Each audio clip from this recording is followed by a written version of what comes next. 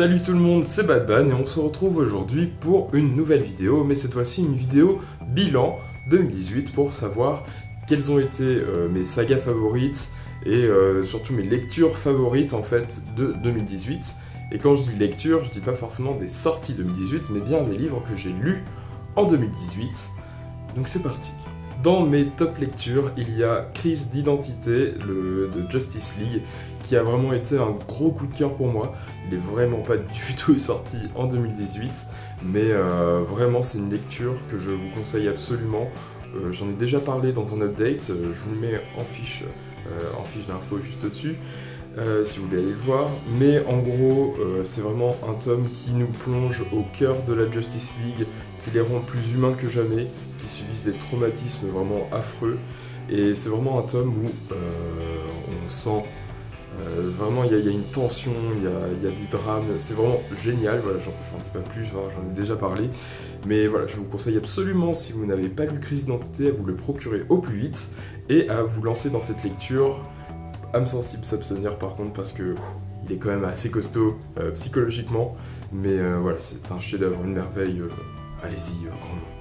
Ensuite, il y a la saga Batman Rebirth, qui reste pour moi une des sagas, une des meilleures sagas du Rebirth.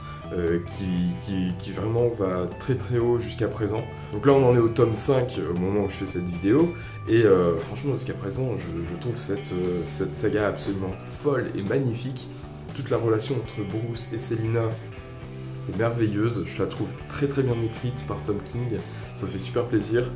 Et d'ailleurs, je l'ai pas vraiment mis dans le top, mais il y a quand même le Batman à la vie à la mort, cette petite nouvelle de Tom King si vous aimez la relation entre Bruce et Selina, vous devez impérativement le lire. C'est vraiment super, c'est beau, c'est touchant, enfin voilà, tout est là. Et la saga Batman Rebirth, c'est vraiment euh, magnifique. Euh, franchement, allez-y les yeux fermés si vous aimez bien sûr le personnage de Batman. Forcément, si vous ne l'aimez pas, ça va pas vraiment, euh, je pense, vous toucher. Mais bon, c'est comme ça. Mais voilà, Batman Rebirth, franchement, une très très bonne saga. Et ça continue sur sa lancée. J'espère que ça va continuer sur sa lancée, euh, car on, se dirige euh, en VO pour l'instant euh, au numéro 1000 de Batman. Je sais pas du tout où ça en est, hein, ça en est beaucoup plus loin qu'en français, mais voilà, impatient d'y être. Ensuite, il y a la saga, enfin la saga pour l'instant, il y a que deux tomes de Super Sons, qui est une saga que j'affectionne tout particulièrement, car je trouve les personnages de Damian et euh, de John très très attachant. J'aime beaucoup leur relation, euh, si on peut appeler ça une relation. je vois, ils me font super marrer. Euh, je, les dessins de gymnase en plus qui sont magnifiques. Je suis vraiment impatient de lire les Notes Justice et les Justice de Snyder juste pour les dessins de gymnase. Mais voilà, Super Sons, c'est du fun, c'est l'éclate. donc je sais qu'elle a été terminée cette saga, donc il doit rester peut-être deux tomes, je, ne sais pas, du tout. oui, je vous parle d'un truc sans avoir fait des recherches, moi je fais mon petit bilan comme ça, sans réfléchir. Mais voilà, je sais qu'elle a été arrêtée et reprise. C'est The Adventure of Super Sons, il me semble la, suite, donc les aventures de Super Sons. Et apparemment c'est moins bon, mais bon. On verra, on n'y est pas encore, du coup il nous faut déjà qu'on termine la saga euh, Super Sons originale. Donc euh, voilà, j'ai quand même hâte d'avoir la suite, parce que bon, c'est une super saga. Et voilà, je, ne peux que attendre cette suite. Alors là on arrive sur le petit problème euh, récurrent dont je parle assez souvent, qui est Action Comics Superman, qui est, je pense, une vraiment des meilleures sagas qui, est sur le Rebirth et qui bah, n'est pas publié euh, en librairie par euh, Urban. Il y a eu juste euh, la partie Superman Reborn qui a, qui a été mise en librairie. Donc ça sort en kiosque. Donc si vous êtes lecteur de kiosque, tant mieux pour vous, vous avez les Action Comics. Mais par contre, à partir du numéro 1000 d'Action Comics, Urban va commencer à publier les Action Comics en librairie à partir d'avril 2019. Donc ça, c'est quand même une super nouvelle, ça fait super plaisir, mais bon, voilà, je reviens quand même sur le fait que toutes les personnes qui n'ont pas lu tout ce qui s'est passé avant, bah, c'est quand même dommage. Je sais qu'à partir du 1000, c'est euh, Bendis qui prend la, suite, donc euh, ça... Je sais pas, je, les ai pas lus, hein, mais j'en suis jusqu'au 999 justement, c'est là que s'arrêtent pour l'instant les, livres euh, VO. Et voilà, c'est sûrement un nouvel arc, un nouveau début, etc. Mais bon, ce qui se passe avant est vraiment super, ça fait quand même un peu chier quoi. Mais bon. C'est comme ça. Je vous mets encore en fiche euh, ma vidéo de pourquoi je lis Action Comics en VO.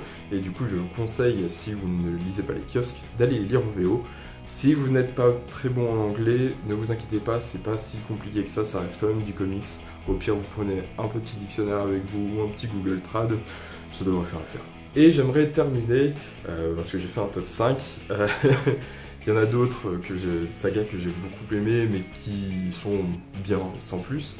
Mais pour moi, la, dernière saga euh, que j'ai lue euh, cette année et qui m'a vraiment vraiment plu, c'est les Green Lantern Rebirth, donc les Al Jordan and the Green Lantern Corps en VO. Euh, pas la saga Green Lantern tout court avec, avec Jessica Cruz et Simon Batts. Même si je la trouve sympa, elle est quand même sans plus, je trouve. Mais vraiment, la saga avec Al Jordan est super. Euh, franchement, l'idée d'avoir rassemblé le corps des... Alors attention. Mais oui, le fait d'avoir du coup rassemblé le corps des Yellow Lantern et des Green Lantern est vraiment une bonne idée. Euh, je pense qu'à la base, c'est une idée qui est très casse-gueule, euh, mais au final, ils s'en sont vraiment très bien sortis et ça fait super plaisir. Al Jordan, c'est vraiment le, perso que, j'adore suivre, malgré qu'il soit parfois un peu insupportable. Moi, je trouve ça vraiment intéressant avec lui. Euh, mais euh, voilà, je, descends plus magnifique. Euh, de tome en tome, ça augmente à chaque fois et franchement c'est exponentiel et c'est super quoi, ça fait super plaisir. Je pense qu'on peut commencer les... avec les Rebirths, Green Lantern, mais je m'avancerai pas trop. je pense qu'il est quand même préférable d'avoir lu au moins l'intégrale de Geoff Jones. avec les New 52, qui est en plus une très très bonne saga, donc franchement si vous aimez Green Lantern, allez-y les yeux fermés, et que ce soit sur une 52 et après les Rebirths. Hein. Les yeux fermés, vous pouvez y aller euh, tranquille. J'aimerais terminer les tops euh, par euh, du non-comics, et par exemple avec un manga qui est My Hero Academia, que j'ai trouvé absolument génial. Franchement, on s'attache au personnage, quand on le voit réussir, enfin moi franchement j'ai explosé de joie, j'étais super heureux, c'est quand même assez dingue. Et si vous aimez en plus les shonen, franchement, allez-y. Euh, sans problème. Euh, si ce n'est déjà fait, hein, parce que c'est quand même une saga qui a 16 tomes, je crois, maintenant, et qui est en plus en animé. Donc euh, voilà, je, n'ai pas encore regardé l'animé, je sais pas si je le regarderai, je suis pas ultra fan des animés, je préfère lire les mangas, mais vraiment c'est un, manga qui, vaut le coup, si vous aimez les shonen, franchement, allez-y, essayez, c'est vraiment c'est magnifique, il n'y a rien à dire. Et pour ce qui est des romans, euh, alors, romans, euh, oui et non, c'est que je l'écoute en audio, en livre audio, c'est L'Assassin Royal, qui, euh, pour moi, je pense, est devenu mon top 1 de tout livre confondu, roman, bien sûr.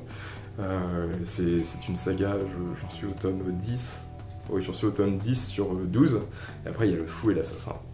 Voilà, impatient de les lire. Mais euh, du coup, c'est une saga vraiment géniale. Euh, franchement, si vous lisez un peu de fantastique, si vous lisez du fantastique euh, un peu médiéval, n'hésitez pas, franchement, à donner un coup d'essai à cet Assassin Royal, parce que franchement, c'est c'est vraiment... C'est fou. En fait, j'arrive même pas à décrire le truc, c'est suivre juste les aventures de Fitz, c'est du bonheur. Alors ce qui s'y passe n'est pas forcément du bonheur, je vous préviens tout de suite, mais c'est fou. Voilà, c'est un personnage auquel on s'attache tellement, on suit vraiment sa vie que euh, ça en devient notre pote de tous les jours et on a envie de savoir euh, ce qu'il devient et ce qu'il a fait dans la vie. Voilà, c'est. Euh, voilà. Bon, maintenant commençons par ce qui fâche, les flops de 2018, de mes lectures 2018. Il n'y en a pas beaucoup. Ça, on va dire que c'est déjà une bonne nouvelle. Mais il y en a quelques-uns. Donc c'est parti. Mon premier flop est Deathstroke Rebirth, tome 2. J'avais beaucoup aimé le tome 1. Enfin, je l'avais aimé, euh, je l'avais bien aimé, mais il y avait quand même des, petits défauts, surtout avec euh, les transitions euh, dans le passé et le présent que je trouvais très fouillis et des fois on, sait même plus où on en est vraiment, mais qui était quand même super sympathique et j'avais vraiment hâte de lire la suite. Et ce tome 2, je l'ai trouvé tellement vraiment bof, ça me donne pas envie de continuer, mais je pense que j'essaierai quand même le tome 3, parce que des fois les transitions avec des tomes 2, voilà, c'est pas. Ça, il peut y avoir des, petits, petites fausses notes et puis reprendre après très bien. Je sais qu'il y a des gens qui adorent cette saga, donc euh, ça se trouve, euh, ils ne se sont pas arrêtés à ça, ils ont continué sur les tomes 3, etc. Et du coup, en fait, après, ça devient complètement dingue. Je ne sais pas. Mais bon, c'est quand même compliqué quand on lit un tome de se dire que, la suite est bien, mais qu'il faut quand même se farcir euh, un ou deux tomes qui sont vraiment pas fous, quoi. Mais voilà, Deathstroke Rebirth, tome 2, je dirais juste le tome 2, qui a été un flop pour moi. Peut-être que j'essaierai le tome 3, on verra ça cette année. Il y a déjà beaucoup de lectures qui m'attendent et je suis quand même pas mal en retard. Donc bon, je pense que ça va être loin d'être une priorité. Ensuite, dans les flops, je dirais qu'il y a les derniers tomes de Suicide Squad Rebirth. Je dirais pas l'intégralité de la saga Rebirth, j'ai quand même trouvé les, premiers tomes plutôt sympathiques, c'était pas grandiose, mais c'était plutôt sympa à lire. Mais là, les derniers tomes, surtout le dernier, le tome 5, oh, c'était nul. Ah franchement, c'était c'était vraiment pas dingue, là ça devient n'importe quoi. Euh, les gars, euh, ils s'en foutent complètement de tout. Genre, ils ont le monde dans la tête, oh, rien à foutre. Alors que quand même, ça reste euh, un des, éléments clés de la Suicide Squad. Je vais y arriver. C'est juste que, enfin, ils, ont une bombe dans la tête, ils veulent quand même pas crever, quoi qu'il en soit, et ils font tout pour pas crever, alors qu'Amanda, elle s'en fout. Mais là, les gars, ils sont là, bon, allez, lui on le bute, tout ça. Enfin, c'est n'importe quoi. C'était pas fou. Dommage. Parce que j'ai beaucoup aimé le run de New 52, donc euh, voilà. Dommage que ça continue comme ça, bon. Ensuite, il y a eu Justice League versus Suicide Squad dans mes flops. Alors, je l'attendais beaucoup ce tome. Juste pour l'idée, je trouvais ça, euh, je trouvais ça cool. Je me suis dit qu'il y avait vraiment moyen de faire un truc de malade, même si euh, je continue de dire que normalement, la Justice League face à la Suicide Squad qu'il y avait dans ce tome, se font rétamer. Mais bon, ça c'est personnel et il y a toujours moyen euh, de faire en sorte que ce ne soit pas le cas. Euh, un petit Deus Ex Machina, tout passe. Mais là, non, en fait, les dessins, rien à dire, hein, Jason Febok, euh, tout ça, là franchement, c'est de la haute voltige. Mais par contre, le scénario, oh là là, catastrophique. C'était pas. J'en attendais vraiment beaucoup plus. En fait, je, sais même pas ce que j'attendais, c'est ça le truc c'est que j'avais pas vraiment d'attente, je voulais savoir ce qu'il pouvait faire avec ça, parce qu'il y a quand même matière, hein. il y a tellement de personnages, tellement de, scénarios possibles, mais là, non, c'était pas fou. Je, je, dis pas que c'est un mauvais comics, je dis juste que ça m'a vraiment déçu, et que du coup, bah, ça finit dans les flops. Voilà, c'est comme ça. Mon dernier flop est Justice League Rebirth, qui est, euh, à mon sens, euh, vraiment décevant et ça m'énerve parce que c'est censé être la saga phare euh, de DC, c'est celle qui, quand tu la lis, tu te dis oh là là, ce personnage il était trop bien, il faut que j'aille lire sa saga, euh, etc. Alors que là, euh, pas envie de les connaître, en plus on les connaît pas. moi j'avais l'impression de même pas connaître les personnages, alors que quand même, je sais pas, il y a un petit peu de connaissance quoi. Mais non, je, je me sentais pas du tout impliqué, je sentais personne impliqué, mais vraiment personne dans ce projet. Euh, toutes les aventures ont aucun sens. Euh, on, les suit, mais alors là, pas d'émotion, euh, rien de personnel, rien du tout. on, a l'impression de les regarder vraiment de loin. Les gars, ils font leur petit truc, mais on n'est même pas impliqué avec eux, on sait pas vraiment ce qu'ils pensent, pourquoi ils font ça. C'est une catastrophe, franchement, je suis énormément déçu. Jusqu'au tome 4, j'ai envie de dire, approximativement. Et, franchement, euh, du coup, oui, vous pouvez vous demander du coup pourquoi tu as continué quand même? Euh, il y a des sagas euh, que, j'arrête plus tôt. Mais voilà, j'ai quand même la, petite, le petit espoir parce que c'est quand même une saga que j'adore, la Justice League. juste l'équipe, c'est quelque chose que j'adore. Les, les, voir s'aider tous ensemble, travailler en équipe et tout, je trouve ça super cool. Mais là, non, faut, pas faire ça clairement, euh, ils ont, il y a eu une super saga avec les New 52 de Geoff Jones.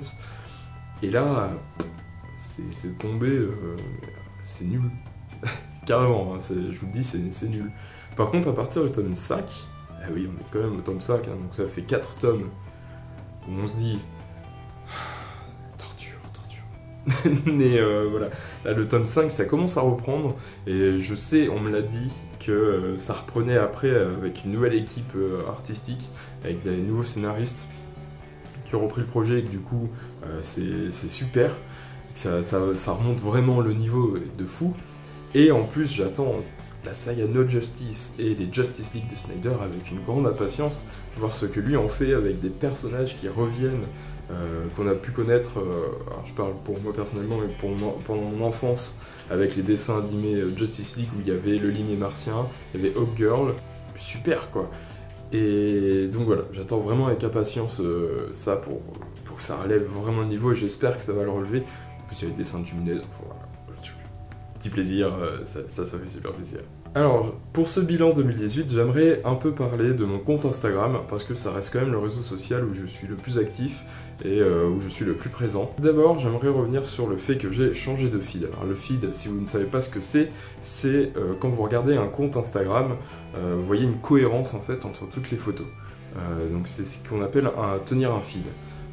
Donc toutes les photos ont un thème par exemple ou une couleur euh, qui, reste sur toutes les photos qui font que au final toutes les photos vont ensemble. C'est ce que je faisais avec les livres dans ma bibliothèque. Donc euh, tout simplement euh, j'avais mon livre posé à l'intérieur et je mettais des Funko autour pour agrémenter un peu la photo et j'essayais de mettre un petit peu en scène ces, ces Funko pour que ça donne quelque chose de plutôt sympa. J'avais même fait à un moment euh, Flash, la Funcode Flash, qui, passait autour du livre en mode euh, éclair. Je, trouvais ça plutôt marrant à faire. Mais euh, voilà, ça devenait trop banal en fait à faire. pour moi, hein. elle fonctionnait très bien les photos. mais voilà, personnellement, c'est quelque chose qui ne me plaisait plus, même si je les trouve toujours très jolies et j'aime toujours beaucoup ce feed. Mais à faire, je trouvais ça plus du tout intéressant. Euh, maintenant, j'avais un nouveau tome, j'étais là, hmm, Justice League, je le mets dans la Justice League, je mets des personnages, euh, tous les personnages que je peux euh, qui font partie de la Justice League, je les tourne et tout, et puis hop, petite photo et quelques petits filtres Instagram, et puis c'était fini quoi. Alors que maintenant, j'ai décidé de faire un feed de photos montées. Donc je fais vraiment du montage avec Photoshop. Du coup, j'ai dû améliorer mes compétences de Photoshop et je continue de les améliorer parce que c'est pas encore complètement ça.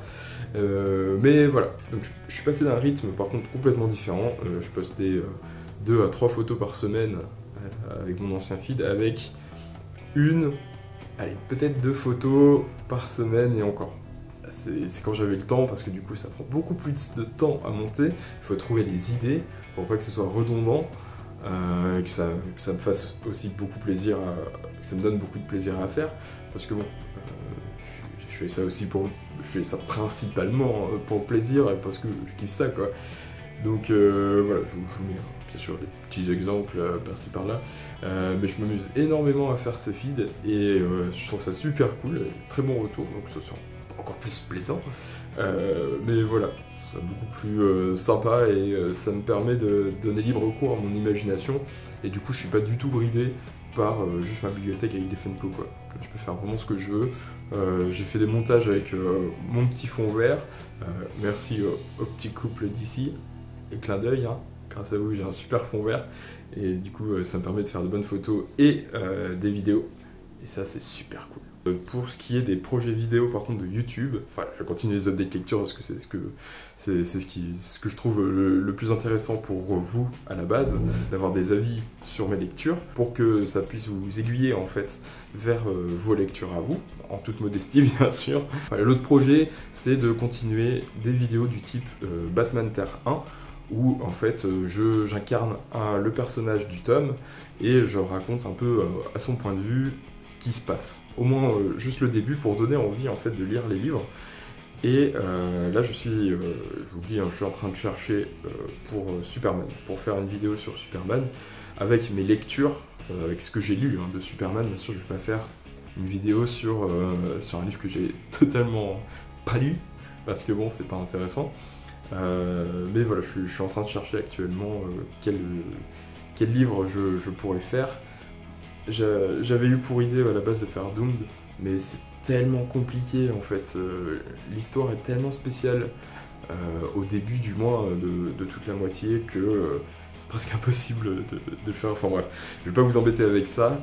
Mais euh, voilà, j'ai quelques projets vidéo en plus des updates lecture. Et euh, voilà, il faut juste que je trouve euh, l'inspiration, qu'il faut écrire les, scripts, du coup, pour ce genre de vidéo. Parce que les updates lecture donnent mon avis, donc ça va. Je regarde le tome, je fais Ah oui, c'est vrai, il se passait ça et tout, j'écris vite fait, et puis hop là, c'est parti. Mais là, il faut vraiment tout écrire, les dialogues, comment ça, ce qui va se passer, les images qui vont se mettre. Et euh, ouais, c'est plus de travail, mais c'est vachement intéressant à faire, c'est vachement cool. Et euh, j'espère que ça vous plaira. Hein. J'ai eu quand même de bons retours sur la première vidéo, donc je sais ce qu'il va falloir que j'améliore. Par exemple, le script, euh, je le ferai lire par plusieurs personnes, corriger, voir si c'est bon, ce genre de choses. mieux jouer, parce que là, en fait, j'étais complètement stressé devant la caméra. Je savais pas trop comment tourner vraiment le truc, j'y allais vraiment à tâtons. Donc euh, il va falloir que j'améliore la formule, hein, comme toujours. Mais voilà, c'est fini pour le story time. voilà, euh, donc euh, c'est fini pour mon bilan 2018 de mes lectures, de mon compte Instagram et YouTube, enfin voilà, la. N'hésitez pas à me donner vos tops et vos flops en commentaire. Super cool de, comparer ce que vous avez plus apprécié ou moins apprécié. Ça se trouve, vous avez détesté des, sagas que j'ai adorées et inversement. Donc savoir aussi pourquoi. C'est super cool euh, d'échanger dans l'espace comme retire les vidéos YouTube. Mais voilà, on se retrouve du coup pour de prochaines vidéos. Ciao, bye bye.